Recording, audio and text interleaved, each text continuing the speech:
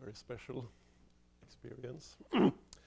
right, so I'm going to talk about um, Per Martin-Löf's meaning explanations for intuitionistic type theory and uh, my own thoughts about how they connect with tests and games. So I have this feeling that this is something important to talk about here in, uh, during this uh, special year. So, you know, um, if you read something like the mailing list constructive news and you see the discussions between various constructive mathematicians, it becomes quite clear that it's not so clear what it means with constructive mathematics. I mean, there are many different opinions about that. So in February this year, I was in a meeting in uh, Luminy, attended among others by Jean-Yves Girard. So I asked him up front, are you a constructivist? And he said, oh, there are just chapels. There are just chapels. I think uh, if one looks at uh, people that are practicing, uh, doing constructive mathematics, actually there is a. If you look at constructive algebra, mm -hmm.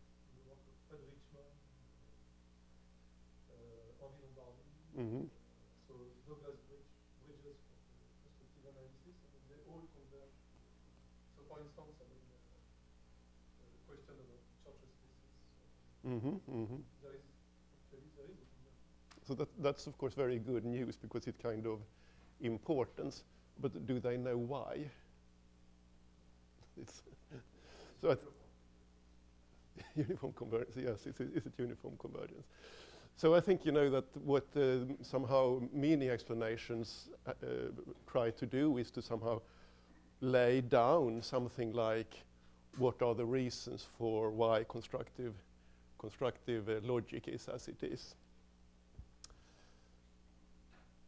So I'll just make a little bit of a survey picture, one of these kind of uh, histories of the 20th century written in retrospect, kind of um, maybe not being historically accurate, but looking at the history from, from present day perspective.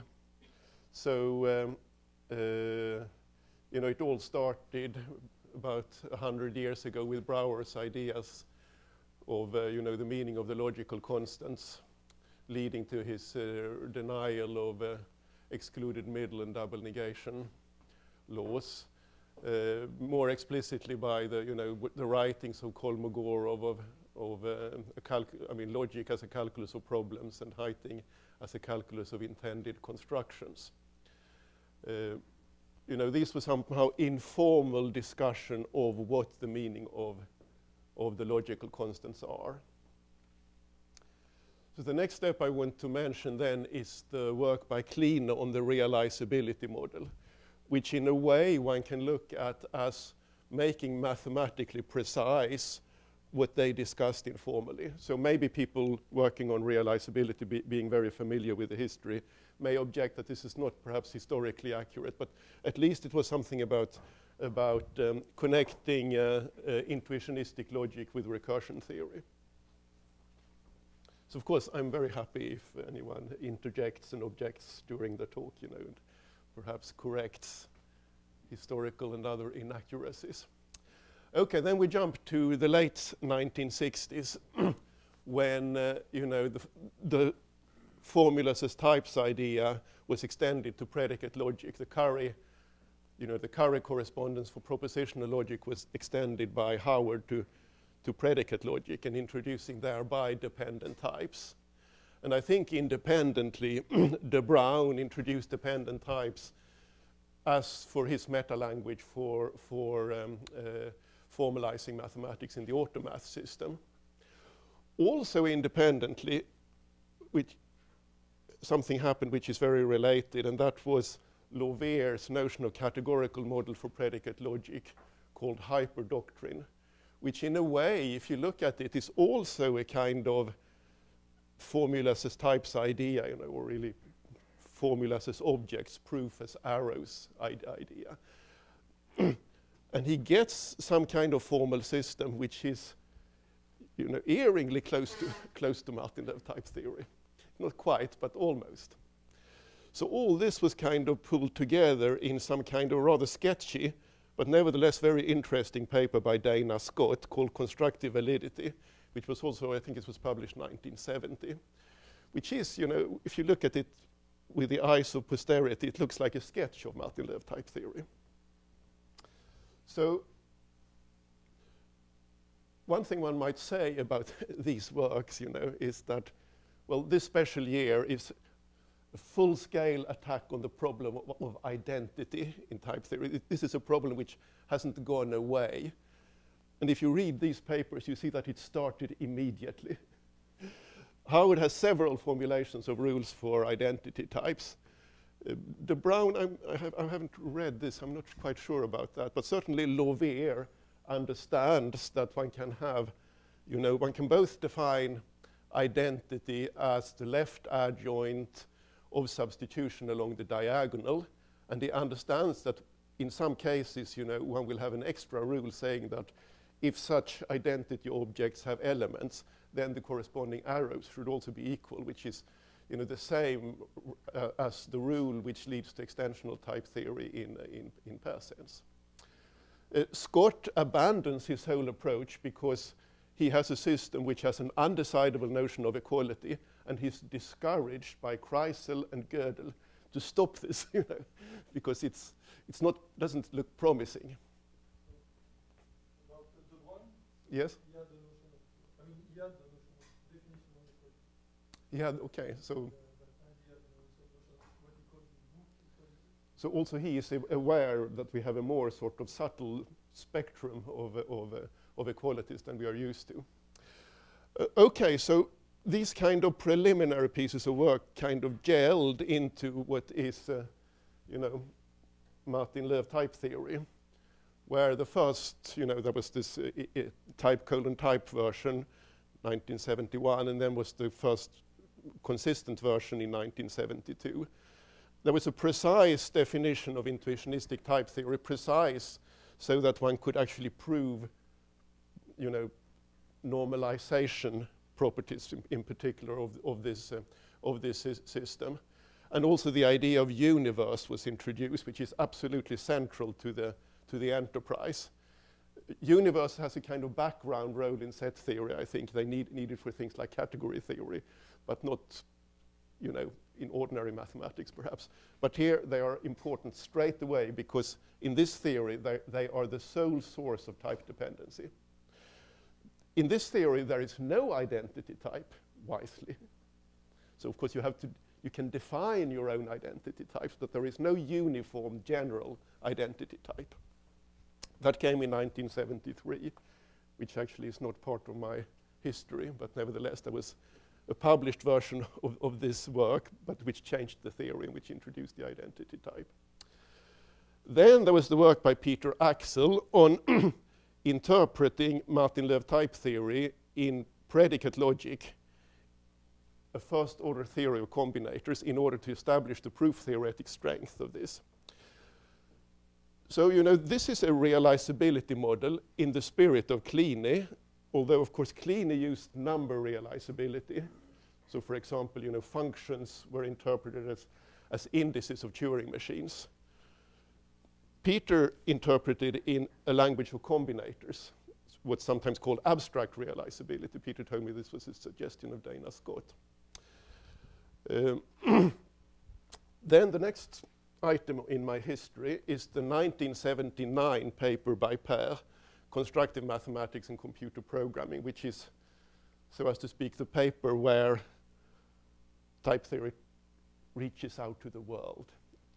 It's, it's kind of, it's got a very nice story, a compelling story about the, the identity, you know, of constructive mathematics and computer programming.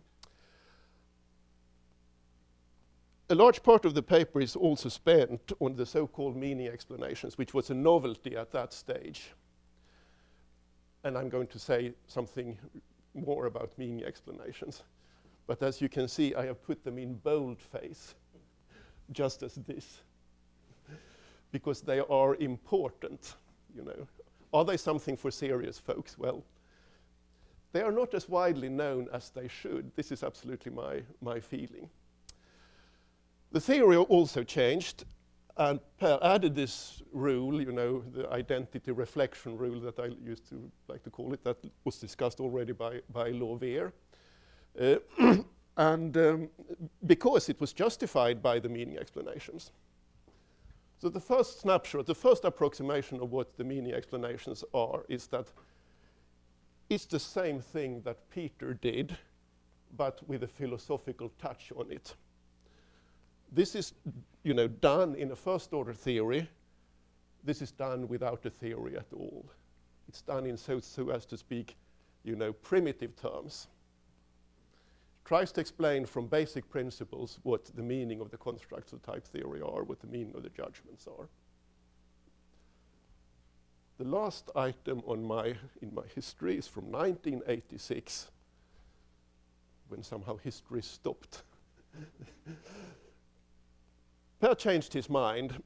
He rejected the rules which lead to extensional type theory and went back to a theory which is actually quite similar to the 1972 theory, although it does keep the identity type. It's now formulated in a two-level structure, there is a so set type distinction, which we discussed quite a lot the other day in the informal type theory se seminar. So it's there is a, a, basic logical framework of the analytic kind in Bob's, in, in Bob's talk. And then there is the type theory itself, which is, you know, uh, the, the theory that you implement as constants on, on top of this, uh, on top of this logical, logical framework. So, um, so we ended up with intensional type theory. I will more discuss the reasons for, for this, this step. I also want to say, you know, that well, what do we have in as basis for constructive mathematics? We don't only have Per's type theory. And what I know as the most sort of, you know, the alternative so-called predicative constructive mathematics. I'm not mentioning the impredicative field. So there is the Myhill Aczel constructive set theory, and there are various type-free theories, both by Peters, like what he used in his, uh, in his um, realizability paper, and the Fefferman theories, you know, under the umbrella of so-called explicit mathematics. But with respect to meaning explanations, these are secondary with respect to Martin-Löf type theory. This is very explicitly giving constructive meaning by Peter, by an interpretation of the constructive cumulative hierarchy in Martin-Löf type theory. Per himself has been very interested in these type-free theories. There was actually a period between, I think we decided it was between 1982 and 1986, when Per considered these theories more basic than type theories. And he also wrote about the meaning theory from the point of view of them being more, more basic than, than type theory. Uh, this can be read in the so-called Siena lectures from 1983, I think. Yes, and as we all know, you know, Martin-Löf type theory is the core of New NuPRL, Coq, and Agda. Of course, Coq has impredicativity, but it also has inductive definition, so it is in some sense a kind of hybrid of Martin-Löf type theory and the calculus of constructions. Yeah, we all know that, oops, what is this? It will disappear, I hope. ah, okay. Ah, I just.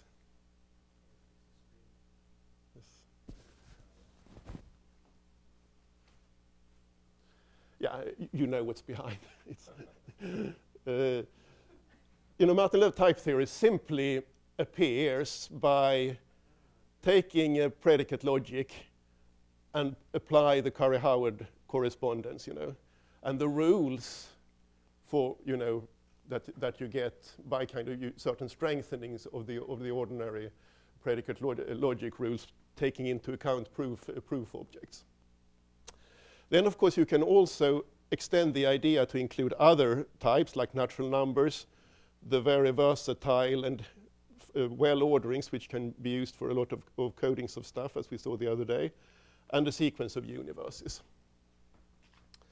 Then later on, computer scientists, including myself, have thought about extending the language to make it more suitable for programming by introducing general notions of inductive definitions and you know even making excursions into the constructive higher infinites, making bigger universes, super universes, universe hierarchic Mahlo universes, autonomous Mahlo universes is I think the largest, which maybe is published. there is and you know, there is this notion of general inductive recursive definition. And the reason why I want to mention this is that all of this you know, can be explained with meaning explanations following exactly the same sort of patterns as the more basic theory.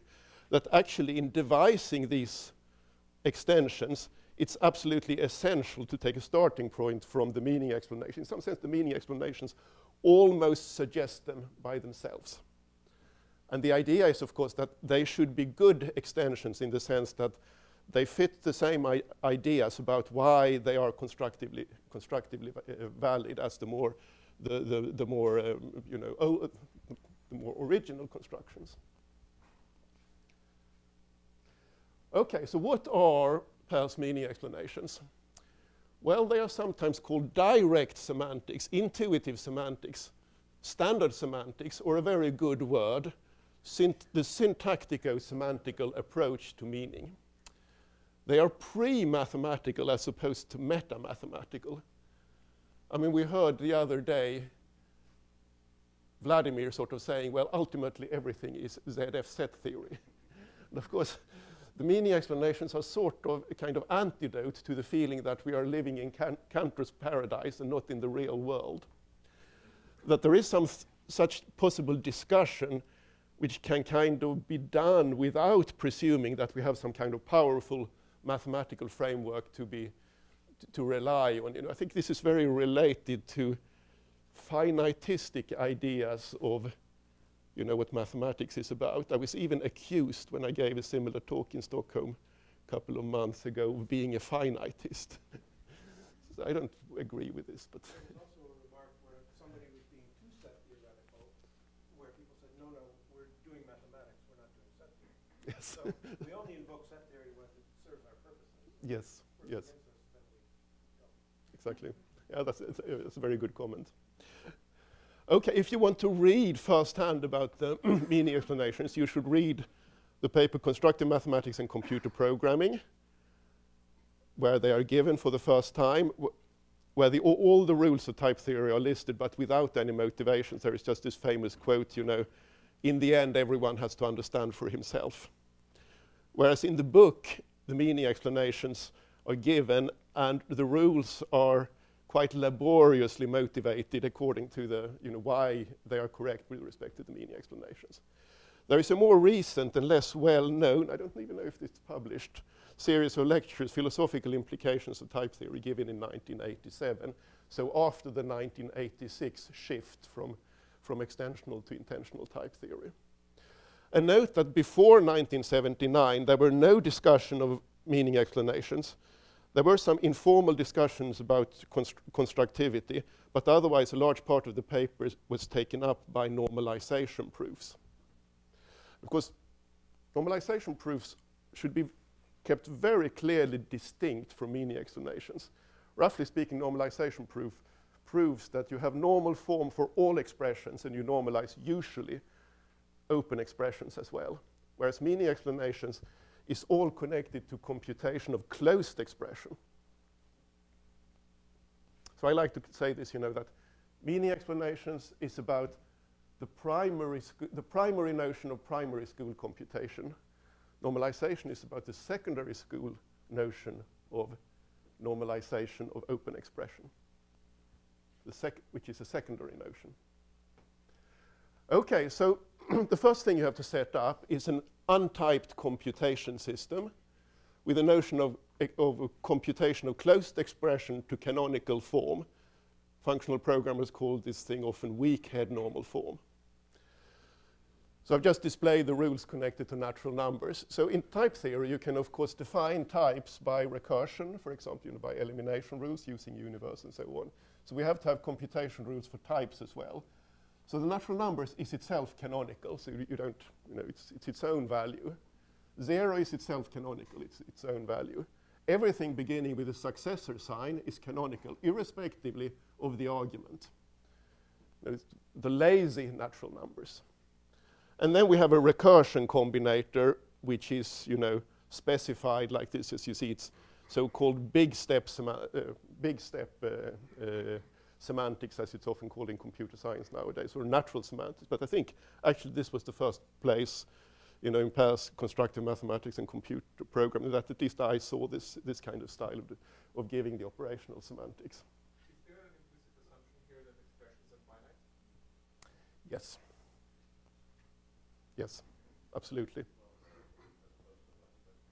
Well, you couldn't have a, you couldn't have a canonical form where you just have an infinite nesting of S of successors, for example. Yes, but no, they are finite. I- If you want to go into those sorts of things, you should, um, uh, you know, this is what domain interpretation has to do with this. Yeah, no, there is a definite answer to this question, and the answer is no.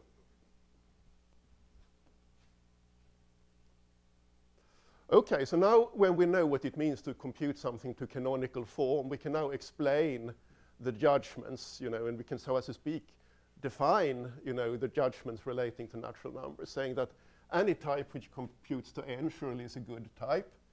If two things compute to n, then they are surely the same types. If the type computes to n and little a computes to 0, then surely little a is, a, is a, an element of big A. And similarly with successor, where we have to check that the argument b is also a natural number.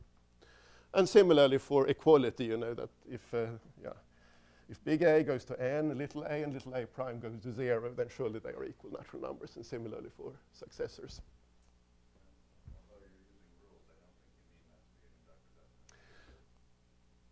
You're thinking ahead of me. You, belong, you are one of us, Bob. Cornell is a kind of Swedish colony. How to understand these rules metamathematically, realizability, or pre-mathematically, meaning explanations. So of course, if you understand these rules metamathematically, you would understand them as the rules, int introduction rules of an inductive definition of four simultaneous things, well, five maybe, you know, the predicate on expressions saying that something is a type, the binary predicate, the, the yeah, binary predicate, ternary predicate, maybe we should introduce the context too in, in, gen- in general, right? We could write this, this all down, you know, see it as, as an inductive definition. Unfortunately, it's not a positive inductive definition because the membership predicate will occur negatively in the rules for type dependency. So one has to do something a bit clever, which I think Peter did first with, in his work on models of, uh, of, uh, of, of yeah, type theory based on uh, basically this, this idea. Uh, and there was also work by Stuart Allen, was from Cornell, at a slight a variation of that, which also gives, gives models of these. You know, see this as just introductory rules of an inductive definition. Show that it actually, you know, has a fixed, ha that they have a fixed point that they, they there is something least set closed under them. The general pattern, you know, is that to be a type means that you should compute to something beginning with a type former, a big C here, type constructor. To be equal types, you should begin with the same type former. To be an element of something, you should be an element constructor associated to a type constructor. And to be equal elements, you should be the same element constructor associated to that type constructor. Uh, and actually, so there are some dot, dot, dots here, which says that that's not all there is to it. There has to be, you know, other requirement on the arguments. And of course, this will differ from different types. But already this is on the way to suggesting type theory as a general theory of inductive definitions. So for the case of the universe, I will actually here be a little bit old-fashioned and use universe a la Russell, because universe a la Russell make perfect sense in the meaning explanations. They were there in the 1979 paper, you know. It's all easy with what's the type, what are equal types. You know, the elements of universes are small types. If, you know, I mean, say big A is is u, symbol for universe. Little a computes to pi x b c, and if b is a, a universe and c is a family of universes indexed by elements of b, then little a is in, in big A. Easy pieces. Small remark, which I'm not going to go into detail, is actually that PER does not require this will not, I mean, the fact that, that I had on the previous picture actually, that equal types should begin with e equal type constructors is not, this is actually not how PER explains type equality. He instead takes a more extensional viewpoint that two types are equal if they have the same elements and the same notion of equality. This is a variation, but with what I'm going to talk about, you know, it will be more systematic, uh, it will actually be necessary to have this interpretation where, where we force them to be, to be equal.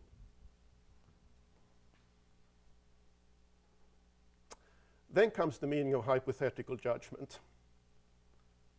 Can you guess? It means that you know, if you have a little a in big A, where both little a and big A depends on some variables, x1 to xn of types a1 to a, and what does it mean? Well, it means, you know, this is verbatim out of uh, constructive mathematics computer programming, except that I changed the notation slightly and incompletely. Um, if you substitute closed terms of appropriate types for the variables, both in the term and in the type, then this should be a valid categorical judgment. And moreover, you know, this should also be, be happen if you substitute equals for equals, then the results should be equal. However, here I want to say something before I show you this picture. So there was once, you know, I hope Per will forgive me to say saying this, but Per gave a talk about partly about meaning explanations in the summer school in Giens in 2002. He started by saying something like, when some people hear me talk about my meaning explanations, they feel I have said nothing. And this is how it should be. the standard semantics should be just that, standard. It should come as no surprise. So Per may, of course, object, you know. but this is, you know, I, th I think this is very important. This is very important. However, although a lot of things are very expected, not everything is so absolutely, you know, there is a lot to discuss. For example, the identity type. This is verbatim out of uh, the book, Intuitionistic Type Theory. We now have to explain how to form canonical elements of the identity type I, big A, little b, a, little b. The standard way to know that this is true is that it's true as a judgment, little a is equal to little b in big A. And this was, of course, explained before. Thus, the introduction rule is simply, if little a is equal to little b in big A, then there is a canonical proof called R for reflexivity of that yeah, little a is equal to little b in, in big A. Here, R does not depend on little a, little b, or big A. It does not matter what canonical element there is, this type has, when provided little a and little b are equal in big A, as long as there is one.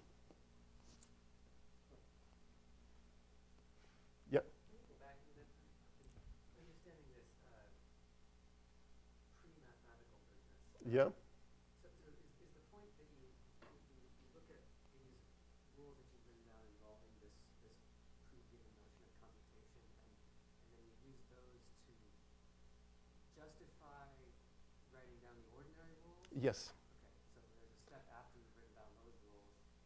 Indeed. Yes, exactly. So it's, I mean, the way to think about it is that, yeah. That you end up with a formal system which doesn't refer to this. Yes. Indeed. Indeed. So it's, you get a very good picture of it by actually doing the mathematical model construction. But then you have to take a step back and sort of say that, well, actually, computation is something that I can understand without understanding mathematics. And we can understand how we recognize various expressions being connected to each other. For example, that the symbol zero is connected to the type symbol n because zero is supposed to be an element of n.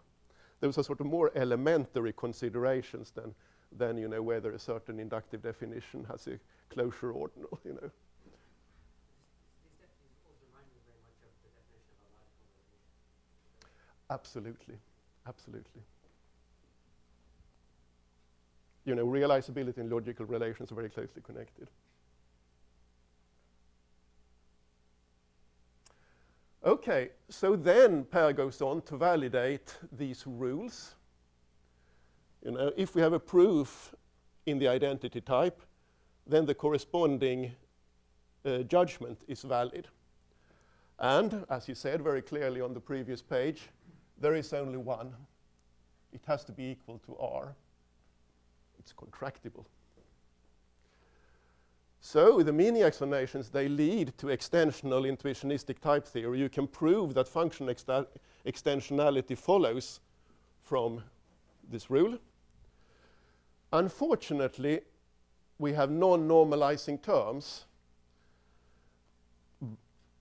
Although we should remember that we have although we have general non-normalizing you know, terms in the language, which is full normalization, including uh, open expressions, we have the fact that it was built into, into the meaning explanations that if little a is in big A, then both little a and big A must have a canonical form for closed, if they are closed terms. But the non-normalization leads to undecidable judgments. For example, even if we know that big A is a type, and of course this is also undecidable, then we don't, then we cannot decide whether a certain element, little a, is member of that big A, which is the case in the intensional theory.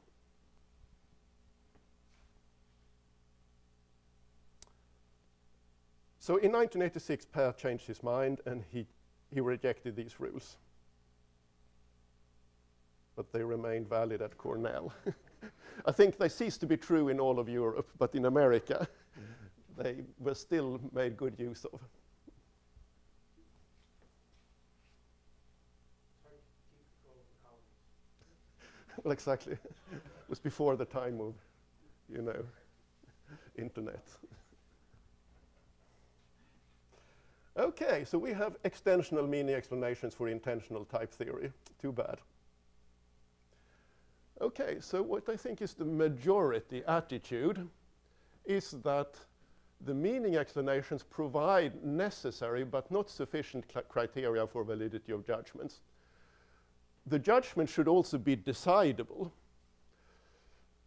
But here I want to emphasize that decidability is a global condition. It means that we have an algorithm for the whole theory which decides this question, whereas we would perhaps like, you know, in the meaning explanation, it's something very local. It's only has to do with the computations of the constituent components of a single judgment. A minority opinion, which is mine, is that the judgments of extensional type theory are all valid, but we may sometimes prefer intensional type theory for pragmatic reasons. However, we should be very aware of the fact that, you know, what, am what does one say in English? Swings and roundabouts. there are pros and cons. And in certain situations, it's a real pain to work in intensional type theory. And my experience that when you try to do these kinds of internal model constructions and so on, it becomes completely unbearable. But Thierry is doing very good work in actually living with intensional type theory here at the Institute of Advanced Study. Yeah, There's a question there behind your yes, So I'm like going back slightly again. Yeah, Um, there's an aspect I don't quite understand of what you've been given of meaning of explanation.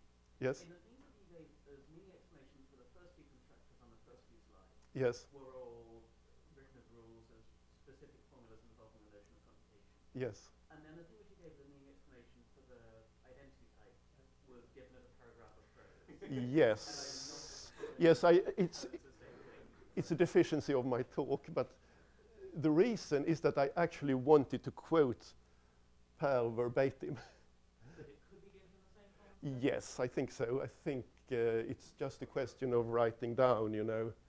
I mean, it, it would be, it would simply be, you know, if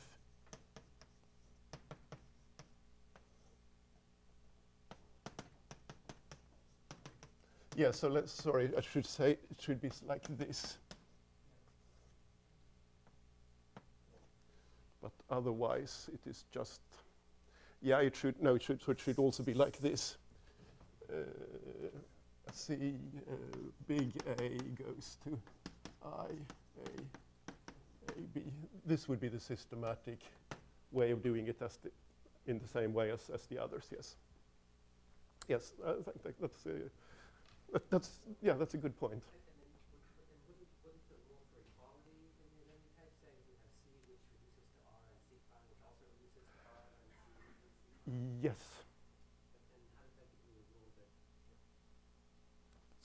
Sorry, so let's, let's take this. So you say, yes, you would have another rule saying this, you know. You would have this again. Uh, C goes to R, C prime, sorry, C goes to R prime. And then you have C equals C prime. Uh, sorry, it would, uh, yes. Yeah, uh, here, yes. Type? Uh, no, s yeah, so we have a, you know, I want to write the judgment in such a way that it's, for reasons that will be, become apparent later, I want to write them this way so that it's completely undetermined what type we take here. You know, this, depending on the presentation, is not always the case. Maybe it would sometimes is already be normalized down here. But I want to write it like this, saying that C, one way of getting that C is equal to C prime is in big A. It's by computing A, Ah, yeah, yes, yes, yes, yes. Yeah, so I don't want to use C. B, B. Big B is better. I don't like big C. I don't. Yeah, and uh, here too, you know. And this is this is copied down there, right? As is the definitional equality. As is the definitional equality. Right? And so then we can justify the equality reflection rule from this. Yes, exactly, because this is the only way.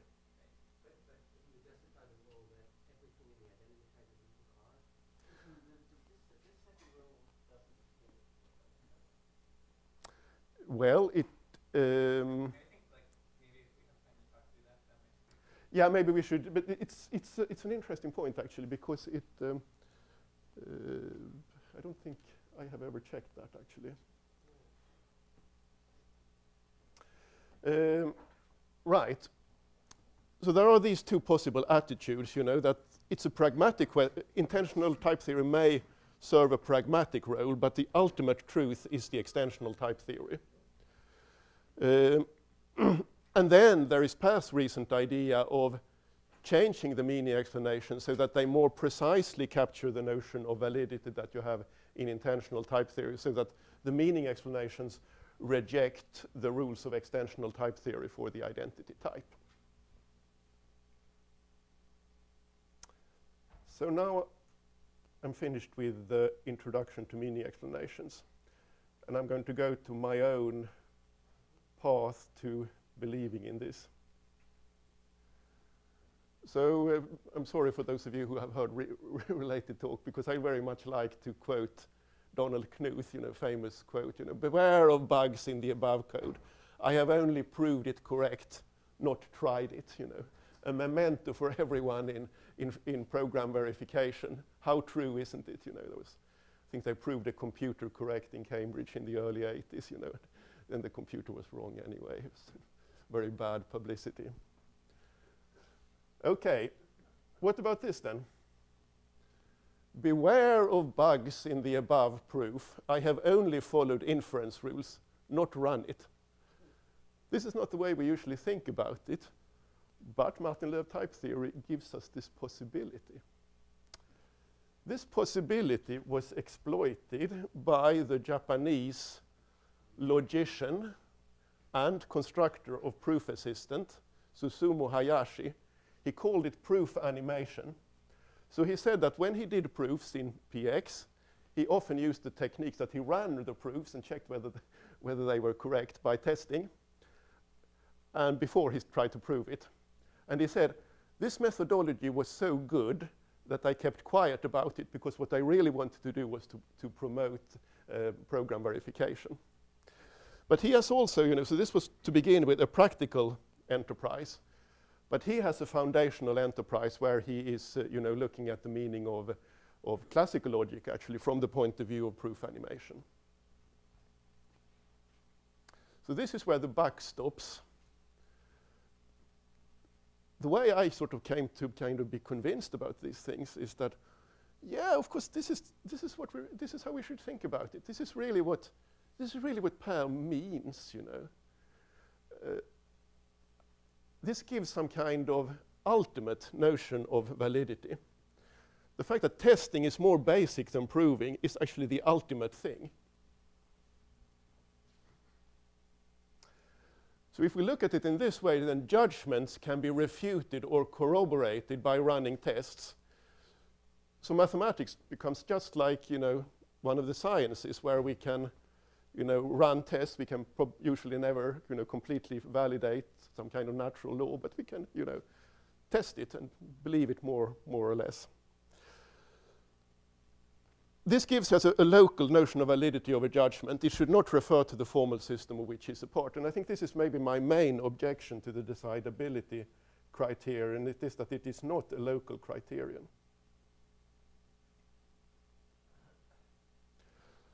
So if we look at the meaning explanations once again, and we just write them in slightly different words rather than these kind of uh, inference rule style, but we just write them as a sort of testing manual, you know some hapless user is going to test our system and run the expressions, you know, and then the hapless user will say, okay, so I'm going to test whether little a is in big A and runs big A. It becomes n, and if little a becomes zero, the, the hapless user is very happy. And so on, you know, if, if he gets the wrong constructor, he's very unhappy. And of course, we can, we can test the universe in the, in the same way.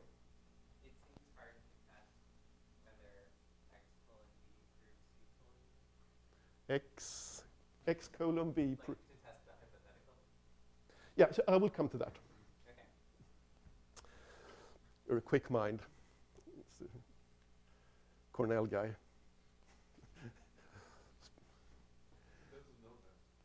it's a Cornell descendant. Okay, so to test hypothetical judgments, you know, depending on x1 to variables x1 to xn, we need to generate arbitrary elements, little a to little n, and test the categorical judgment that we get from substituting the, you know, these elements. Okay, so how do we do this? Well, it's no problem if the type is the natural numbers, because maybe we shouldn't try to generate an arbitrary element computing to a natural number, but we generate the canonical ones, you know, the canonical ones where also the, the body is canonical, the 0, 1, 2, 3, 4. It's, this seems fine, no problem. Similarly, if we want to uh, generate elements of an identity type of natural numbers for closed, you know, categorical judgment of identity type, we simply compute m and n and see if they are the same. This we can do. And then we generate the reflexivity proof. But it's more difficult if we want to generate an arbitrary function. We could, of course, try to say that, well, we will somehow enumerate all the, all the things which um, in Martin-Löf type theory have the type n arrow n. But first of all, we want to define, you know, we want to justify. This would be sort of circular. It's, we, we don't know yet what is suppo supposed to be an element of, of, of this. We don't want to take the system for granted. Yeah?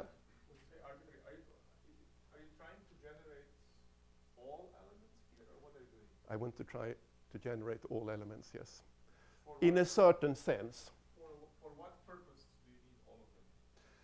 Um, well, if it's not all of them, then uh, at least in principle, we should be able to ge generate all of them so that we really ex exhaust any possibility, you know, that, uh, you know, I mean, this is what Per said, you know, it should be an arbitrary element.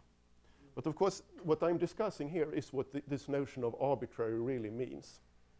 Because there might be other methods of absolutely. of establishing that something holds of arbitrary elements that do that circumvent that circumvent uh, exhaustive enumeration. Yeah, For example, you have examples like the impossible functionals, where under certain assumptions, like for example, I can exhaustively search the Cantor space on the side of the predicate. I don't have to I don't have to enumerate all elements of n arrow two, but I can still verify that something decidable false for all elements of n arrow two. And in any case, uh, the proof is in your corner because you have. Because I- I'm just saying there might be other methods. I think this is an, uh, a, very interesting objection, and we maybe sh- can discuss that more after, after the talk. Uh, yeah, I have a question. When you when you test a function, Mhm. think of it as a term or as a black box that you throw? I think I think of it as a black box. I, I have it maybe, but I put it in a black box so I can't ex- inspect it. I just, it, I can just interact with it. I would say the best answer there is that you don't want to make a commitment to an answer. You want to. It is important not to commit to an answer when somebody asks you that. You want to stay flexible with respect to that answer. This is very, very interesting discussion, but I think we'll, let's, let's push on. Yeah. Uh, so we have a problem with generating arbitrary functions. We also have a problem of generating proofs of identities of functions because it would take infinitely long time, and we are trying to be finitistic here. You know, we're trying to do this within reasonable time. So basically, we don't, we cannot do that. So this is connected to the fact that it has been said that higher order functions are actually inherently impredicative. Because, you know, what does it mean to, you know, if, we, if you think of this as, the point from, of terms in some kind of formal system, then maybe those terms will involve the functional itself, you know, so it's a there's kind of circularity going on. And that's of course very related to what I said before, why we, why we cannot in, uh, generate an arbitrary ter- uh, term here. But the way out that I'm proposing is to make use of continuity. This argument will on only call finitely many arguments. And hence, the way we may go about it is to you know, use one of the big theories of continuity, domain theory. What we mean by all elements, you know, is in certain sense that we use the finite approximations and try to compute with them. So we tried to do this, but it wasn't easy. And it also led us rather more into something which is more operational than domain theory. What we really want to do is some, have some kind of concrete procedure for generating arbitrary function inputs. So we were instead uh, led into game semantics. So, you know, my collaborator Pierre Clairambault is, uh. Yeah. is uh, you know, he's a, he's a game semanticist. So the idea would instead to be to lazily generate opponent strategies. So, for example, Pierre is a lot working with Hyland and Ong's games. So this is one, one approach we have, uh, we have tried. And, and um, yeah, so this is qu- quite a feasible approach, although it doesn't seem to be the, on, the only, the only way, way to, go, to go about things. Yes? Yeah. So if you want to test a function of type A or B, Yeah. why couldn't you uh, like take a partial given segment and um, constructor of type A and see if the com- if it That's eventually comes out. slide. That is point three on the slide.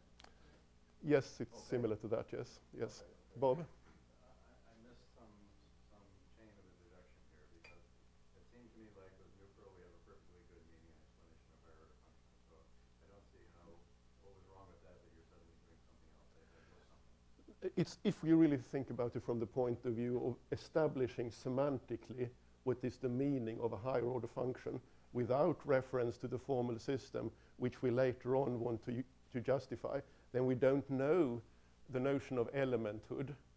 And therefore, you know, we have to do something which is independent of the notion of elementhood that we want to actually define to avoid circular reasoning. At least in our setup, we don't, we don't define it with respect to a formal system, that's for sure. The, the semantics is given independently of the formal system.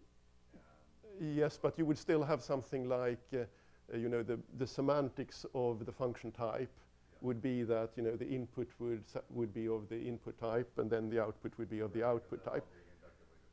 Right, but the, the problem with this, if you look at it from the point of view as a recipe of generating input, concrete generation of inputs, you cannot do it in general. If the input type is something like a function type.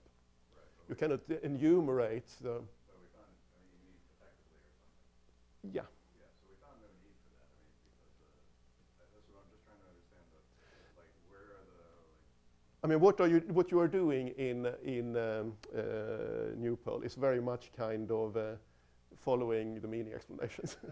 uh, you're putting the meaning explanations to practical use in actually rather flex flexible and useful way, I would say. I'm trying to understand what's wrong with that. There is nothing wrong with it, but if you take this point of view that what we are really really want to do from the point of view of foundations or from the point of view of practice, perhaps, we cannot we cannot. This doesn't actually give us a practical testing recipe.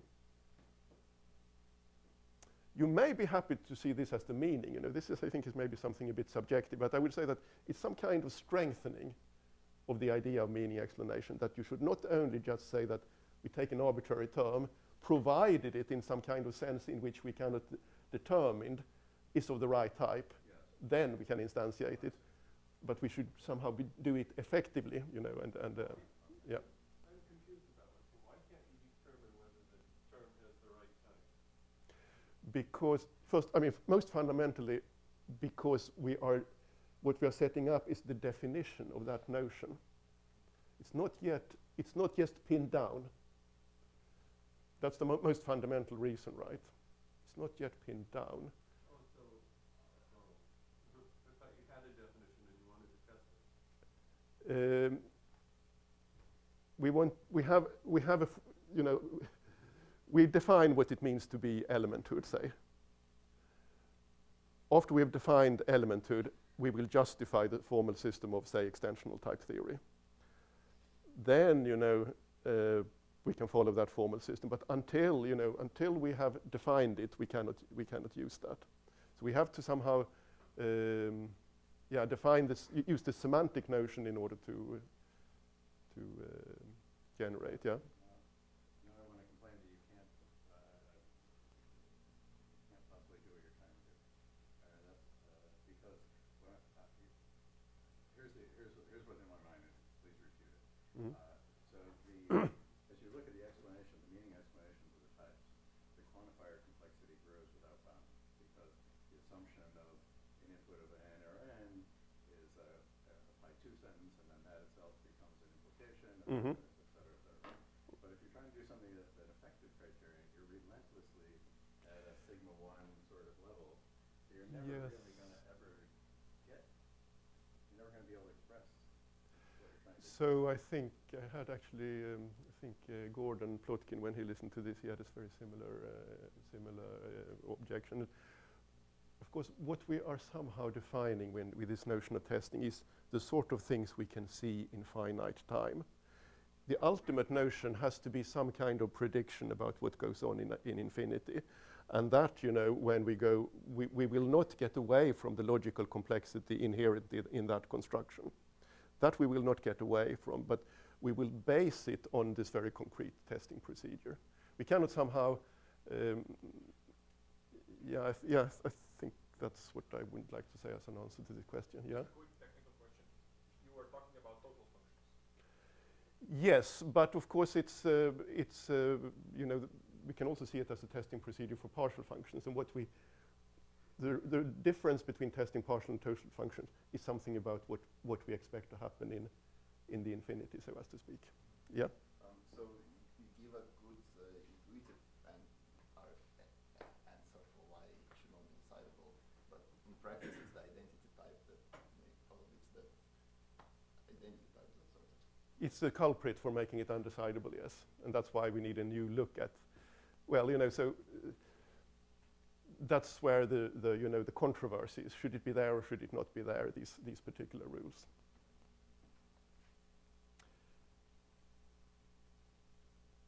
Yeah. So the way I look at this, you know, is that it's it's a refinement of path meaning explanations where input generation plays a dual role to output computation.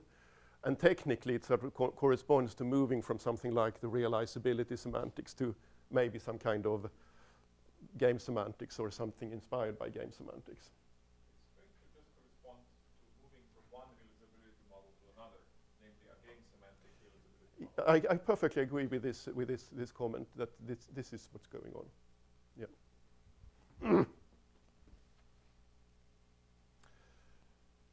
um, yeah, so since we had these problems with generating, yeah, so the problem of generating elements of function types will be addressed by going towards uh, a game semantics.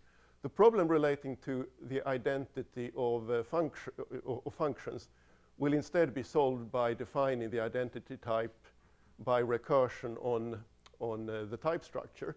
It's somehow, from this point of view, it's not enough just to generate a single reflexivity witness for an arbitrary identity respectively of the identity type it is from. So what we instead do is what you would have to do when you work in the identity-less theory in 1972. You define, you know, a recursive function that computes the result of, you know, whether m and n are, are, are equal, and then you, you transfer that to a proposition. So that would be the definition of equality of identity on, on n. And you define the identity of two functions by, you know, the pi, the, the, the pi sentence in, in question. Then you will get different kinds of witnesses. Here you will get, you know, lambda, lambda yeah, function expressions. Here you will get, you know, actually here there will only be a single, single ele element, but for that case, this is, this is fine. And then, you know, we can define the reflexivity proof by induction on the, on the structure, on the structure of, uh, of, the, of the type. And then we can justify the rules of that we have in extensional type theories. It's very, cle very clear in the case of natural numbers that you know, this will be the case if and only if the test of the identity judgment will, will, um, uh, will pass.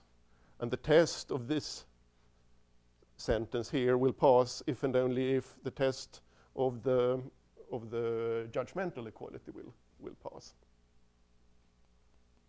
So there it should be f of x and g of x above the line. You're just saying extensional equality for functions.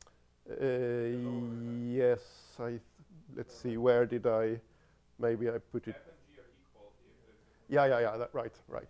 It's, yeah, thanks. Oh, you're at pi. Yeah. Oh, sorry. Oh, okay. Sorry, which is correct, okay. Okay, now to the universe. Since we define by induction on the structure of the types, we can try different ideas here. The uniform choice with respect to the meaning explanations would be to define some notion of extensional equality of codes. So we should really generate new codes, one code saying that n is equal to n as a you know code for the for that identity type. For the I mean pi pi xa and b is identical to pi xa prime b prime provided we already have a witness that a is equal to a prime. We really look at the codes, you know, as kind of trees, well, you know, um, well-ordered trees, possibly infinitely branching, sort of similar to the W type. So uh, the natural notion of extensional identity on, you know, the universe looked at, looked at something which is much like the W type, would, would be defined in, in this way. And this would be, you know, this would just kind of check this extensional identity, and then we could also argue, you know, that that we can validate identity elimination and identity equality for extensional type theory for U, because this will correspond to the testing, uh, you know, sort of internalizing the testing procedures as, as, as lambda terms. Okay, what if we define, if we choose to define this as, uni uh, this as uh, isomorphism, then of course trivially we validate the univalence axiom. But of course we do not validate the identity elimination rule. So we are not in a position that somehow helps connect univalence to, um, to uh, meaning explanations. Um, the, then the problem here is to express in the meaning explanations the idea that everything that you can construct preserves isomorphism. And this doesn't seem to me as something which is na natural, maybe not even possible to sort of reconcile with the other ideas of the meaning explanations. But you know, I'm willing to be proved wrong about, about that. But that's, that's at least the, the feeling I, I have. Yeah? For extensionality, you see, you're in good shape because uh, you've already guaranteed in the meaning explanation that every, all the open maps are functional, which means they respect the equality. Yes. You have this option. In fact, we considered in NuPRL semantics exactly that. That Mhm, was one mhm. possibility. The reason we didn't define universe equality that way was simply because we were also confused about whether we wanted or didn't want to have universe elim, which lets you do by something by induction on the structure. Yes, exactly. And that's uh, So we left it open, right. but we could very well have done it because Ah, yeah, so if you don't have universe elimination, was that if you don't have universe elimination, then we, we left it open. Yeah, yeah. We, we chose a criterion of equality within the universe that was uh, structural in order to leave open the possibility, but we explicitly considered instead that it should be extensional. And that works because everything respects, respects uh, equality already. So there's no issue of respect, you see what I mean? So in other words, the, the general criteria of functionality that you give to open judgments ensures that the extensional equality of codes option makes perfect sense. In the second case, it, it, you, you need to generalize functionality to functoriality. And then you can have the equivalent of the, of the extensionality, which is you say that things are equivalent if they're isomorphic. So um, somehow a, main purpose of this talk is to somehow connect thoughts about meaning explanations to thoughts about univalence, you know, and this is, you know, this is food for thought, food for thought, you know, and, and you, in Cornell you've already thought about these, the, these, these things, it's, it, that's, that's very interesting.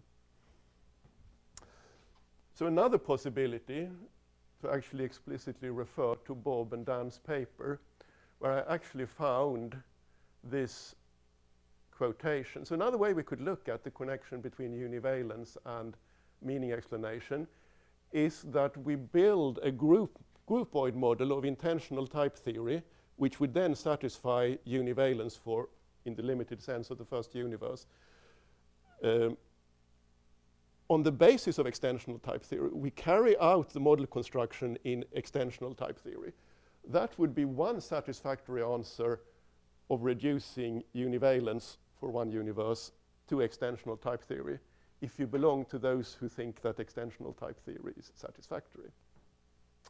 And this thought, yeah? Uh, the groupoid model does not satisfy the universe. There's a more refined one that will. It does satisfy univalence just for the first universe sets.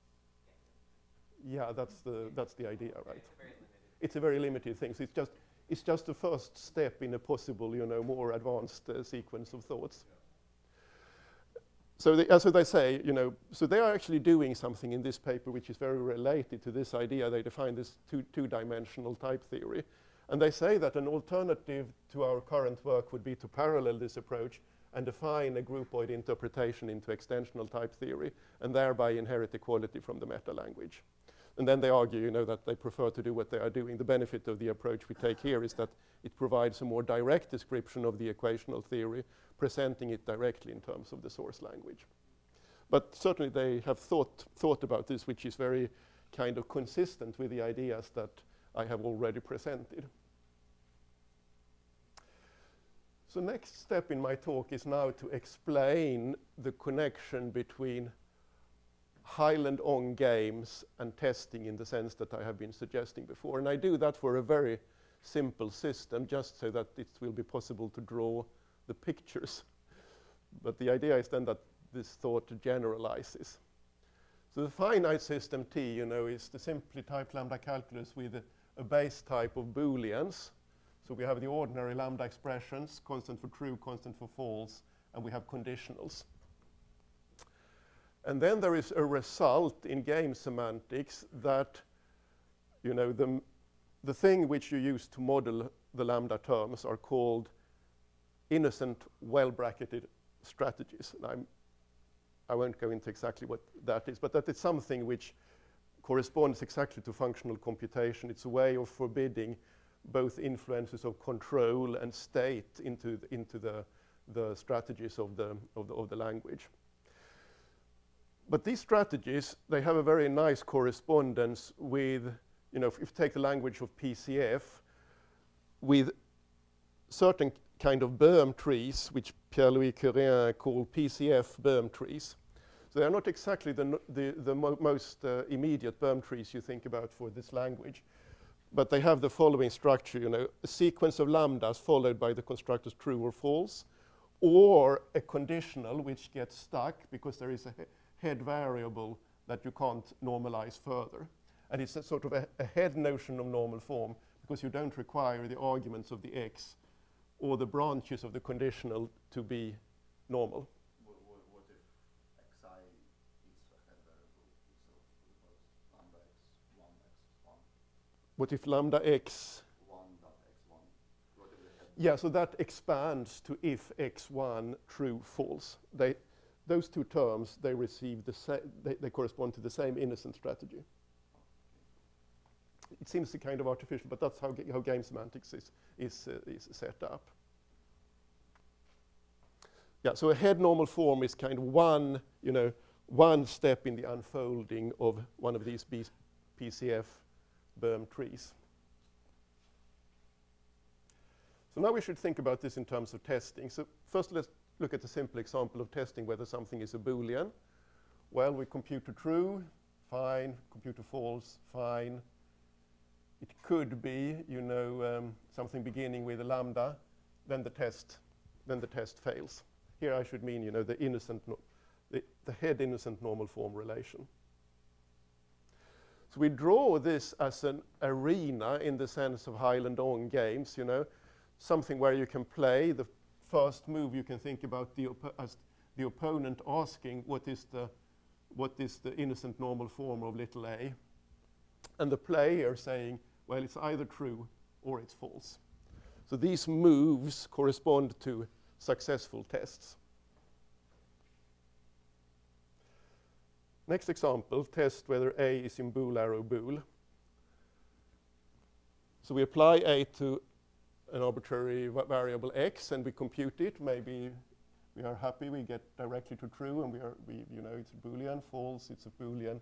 Or it's, you know, an innocent normal form beginning, you know, it uh, shouldn't begin with any lambdas because it should be a boolean type possibly. And then, you know, so the form if x, b, c. Then the computation is stuck and we need to generate the head variable either to true and then we test, in that case, you know, we want to test the first uh, branch, remembering that x is true, or we want to generate the second branch, uh, uh, compute the second branch, remembering that x is false. Yeah. The now this means, yeah, so now this means innocent normal form. So unfortunately, the meaning of arrow changes during the talk. I'm sorry about this, but uh, yeah, it's, it is because the notion of computation to canonical form, which Per has, does not coincide with the one we, we have for game semantics. And this is in some sense, you know, part of the sort of thing which, uh, you know, we have to decide, should we be close to Per or should we be close to, pair, to game semantics? So the arena looks like this in, th- in this case, you know, that it's, uh, you think of this as a kind of, you know, the function arrow in, of arenas, it takes, you know, an arena for the result type and an arena for the input type and makes a move from that route to that route um, and, and puts them tog- together like that. And intuitively, you know, computationally testing wise, you can see it as what is the answer, what is the result of AX? Well, it's either true or false, or it's something which gets stuck because we don't know what X is. And, you know, this is something which the, here the player computes. And then, you know, when we get stuck at X, it's the opponent's turn to say, what is X? And it's either true or false. And then we we um, uh, continue computing B, and you know we start again, and we we we uh, we uh, uh, yeah we we backtrack, so as to speak, and continue until we have reached the result.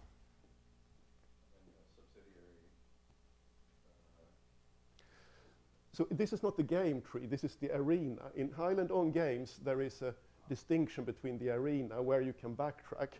You can unfold this kind of to a, a game tree in the usual sense where there would be subsidiary things going on.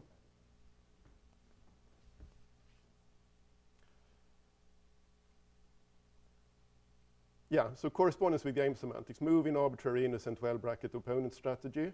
Only head occurrence of X is instantiated at the first stage. Repetition of moves is possible. This is sort of computations asso- associated to game semantics. This is, of course, different from computation in the sense of Per. And this is, you know, what we have to decide whether we should go in one direction or the other, or possibly, you know, do both. Yeah, so this picture is the same as last picture. I've just been a little bit inspired by Agda, and I have replaced the variables by meta variables, because in general, the kind of things we need to generate may bind variables, just like meta variables in Agda. So it's perhaps a better picture, but otherwise it's the same, so I won't spend any ti- time on it. You know, this means sort of, you know, instantiating is like filling a hole in Agda. Test of functional. Well, again, you know, we can be lucky and we can compute the output directly. Or we get stuck because we have a head variable that we don't know. Uh, yeah, or we can get the wrong constructor and fail. So this corresponds to the following arena, where, you know, here we are successful. Here we get stuck at the head variable. And then, you know, it's the opponent's time to instantiate that head variable. And this is something of function type, so it should be either lambda y true or lambda y false. You know, insert it here and go on with the computation, in which case, you know, in the case of true, we should go on with C, and in the case of false, we should go on with D. Or, and here is what somehow game semantics differs from usual extensional type of thinking. The opponent could also instantiate a, a strategy which itself is corresponds to one of these things which get stuck with at, at the head variable. So you know lambda y if y, and we only want to instantiate one step, so we should leave holes for the branches which the, the opponent will instantiate later. And now you know when when this is inserted in this expression here, we will need to compute b, and that's the job of the player, and it will be true and false, and depending on the result, you know, we will we will go on with with the, the computation. Why are these? In uh, the limited case of, of, of system T, all all head normal forms either have the shape true, false, or if. Of course, they can be preceded by lambdas, but then we are going then we are wrong since uh, since. Uh, So you're saying you're only going to test the normal forms? Yes, I'm only going to test the. You plug in normal forms and that Yeah. satisfies your curiosity. Yes, that satisfies my curiosity. That's the assumption. Yeah. Yeah, maybe, maybe, maybe, maybe. I, I, I, I- yeah, I agree. It's, uh, it's that's a good comment. Why is the function that you fill in, Sorry, the function that you fill in on the very left there, the lambda y, this one, yes. yeah, why can't that depend on something found sort of earlier? Like why is it only if y and not if of something from somewhere else? I mean, this is, you know, the head normal form. I mean, one, one possible, what I call innocent head normal form. I mean, innocent head normal forms which begin with, with one variable either has this shape, that shape, or that shape. That's the only possibilities. The, the things you plug in are otherwise closed, Uh, yeah, they're close, but they can they're close, but they can depend on new on new meta variables. I mean, in this case here, in this case here, you know, in general, you know, the thing we plug in can have a, can have free variables in the, in them, right? Because we, we we do Yeah, because meta variables can depend on context, right? This is just, yeah. This is just a picture of how complicated it is to play, you know, twice, the twice functional applied to true versus not. So I won't go through this tree, but it is, you know, about how, so here I haven't actually expanded it, them to the innocent normal form, but you know how, well, we ask the question, what's the result? We do that by computing the head normal form, identifying the head variable. The opponent is asked to, uh, what is the result? Before it can know that, it has to know what is the argument. Here it computes the argument. Then, you know, it, we, al- we ask, it, this can't be computed, so it has to be instantiated, needs to know its argument is computed, etc., etc., right? Yeah, I'm not going to say very much about system T, but it's just to show the arena for lazy natural numbers. You know, you ask what is the result. If it's zero or if it's successor of B, then you need to know the result of B, and this is an opponent question, which will ask that, and so on.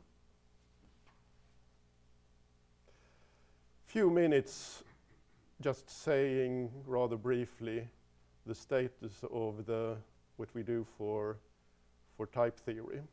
So this is just, you know, the syntax of fragment of type theory that we work with, you know, with booleans, natural numbers, sigma types, pi types, and the universe, and eliminators, and interestingly, including the universe, elim universe eliminator.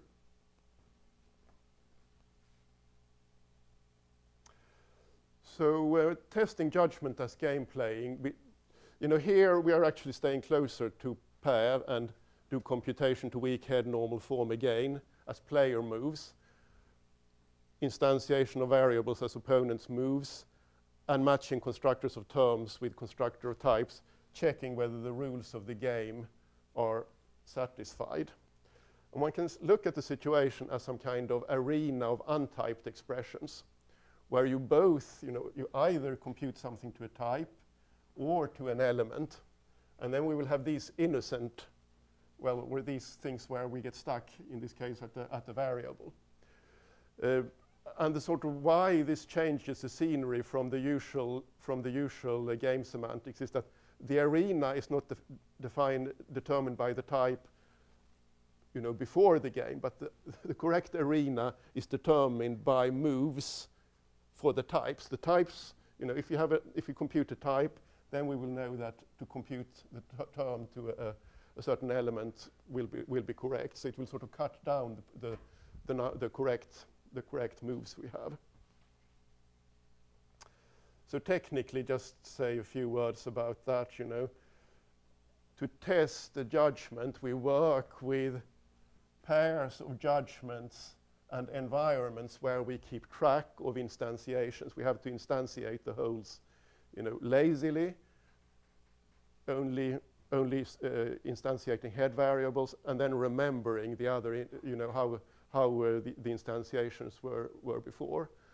So Pierre likes to call these uh, meta variables channels. I think this is some tradition in game semantics. And the channel environment, you know, it keeps track of the types of channels and also the terms which have they have been instantiated to. So a channel has a type and a context.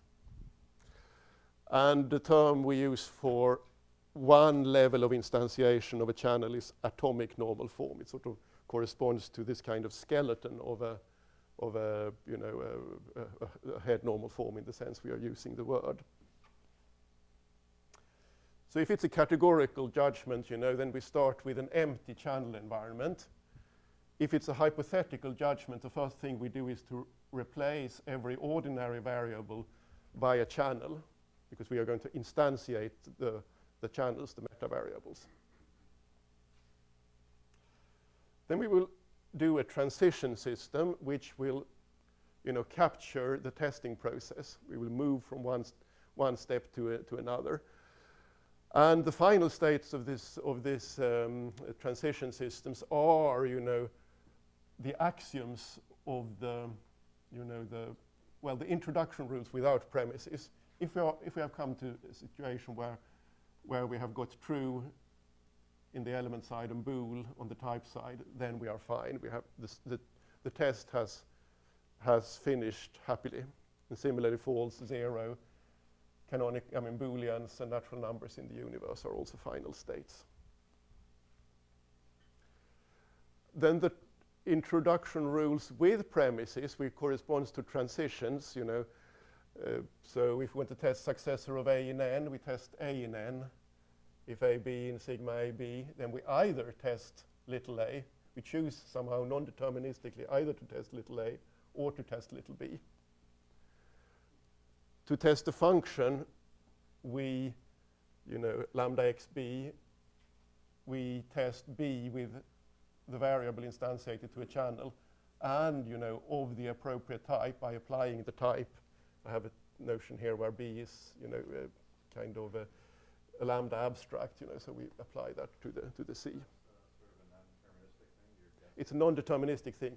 And the, the non-deterministic nature uh, captures the non-deterministic testing uh, nature of the testing, that the opponent will choose non-deterministically which instantiation he will do this time. Yeah, that's right.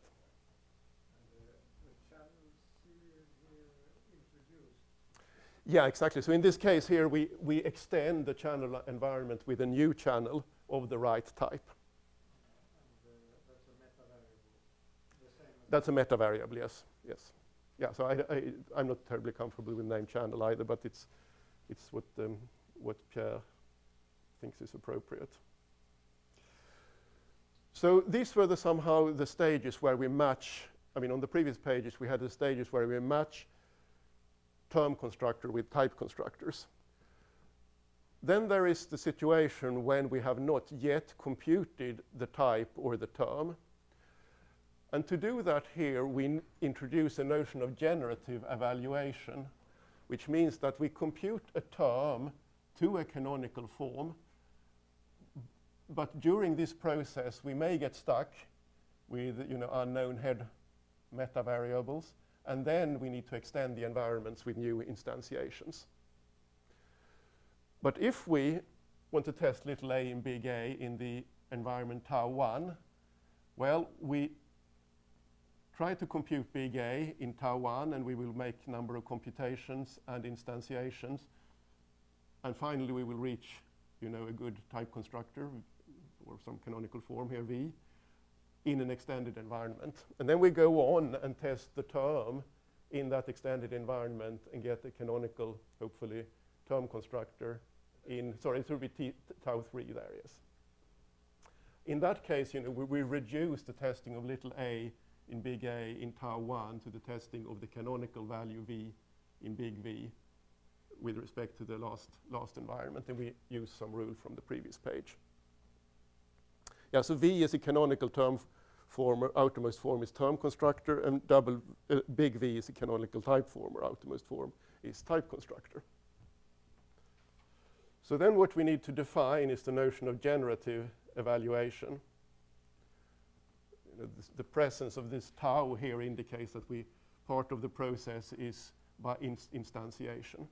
So of course, if we, without doing any new instantiations, we can compute the canonical form already, then we can also compute it as a generative evaluation denoted with this longer arrow between pairs.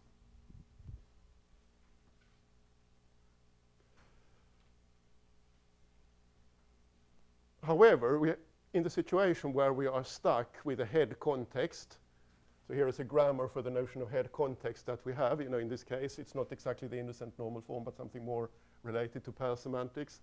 Uh, it's variable, variable applied to term, if getting stuck in a head context, natrec getting stuck in a head context, urec getting stuck in a head context.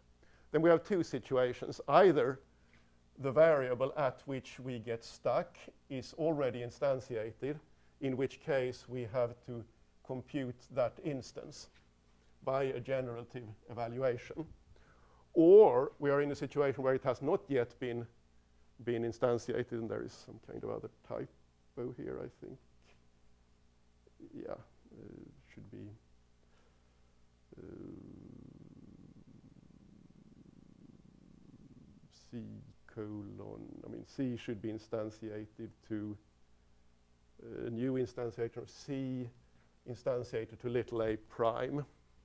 So the situation is otherwise the, the same, but in this case, we need to compute the canonical form of the type of the channel before we know what is a correct instantiation of it. And then this is just an, a description of these atomic normal forms, the one step of the head normal form that we are using. So uh, I won't go through them, but maybe just say that, yeah, you know, for example, zero is one of these atomic normal form, and successor with a channel variable here, you know, is an atomic normal form of the natural number, and then systematically for the other type, type formers. And then we have the situation where we also would like to generate things which get stuck at a head variable, and for this, we introduce an auxiliary, auxiliary notion which records the type of the variable at which we want to get stuck. Because we can't, we don't know what that is. You know, what is the shape of a correct expression getting stuck at xi until we have computed the big AI. This is somehow the technical difficulty we have in type theory where we have to compute the types of the variable before we know how they can be, they can be instantiated. This is somehow what accounts for some of the complexity of this, of this enterprise. But once we have that, you know, so in this situation, for example, then we have one of these auxiliary expressions where, where yes, I'm getting close to the issue, but I'm also getting close to the, yeah, anyway, I'm just, this just says that this is really an instruction to compute the type of A here. If it is a bool, we know that we can we can instantiate that to if little a c, c d, where this is maybe a variable, but it, it, may also be some other neutral terms. So I think you know these are maybe technical details which I should skip at this stage of the talk and just summarize. So the idea here, you know, which we can dispute and debate afterwards and during lunch, the test manual determines the meaning of judgments, including equality judgments. With this view, tests can corroborate or refute judgments as in philosophy of science. Tests with functional input leads us to games. Input generation corresponds to playing opponent strategy. And if we compare this with Per's original meaning explanations, we get an alternative interpretation of hypothetical judgment, type equality, and identity types. But otherwise, of course, it's it's the same. And in some sense, it's still the same, perhaps, but with a more refined view of what goes on. And the hope, belief, is that the rules of extensional type theory uh, from Per's paper in 1979 can all be justified. And, you know, although, of course, this, the ultimate idea is that this should be a pre-mathematical explanation, it's very good to do the mathematical work, which would kind of pin this down to the details.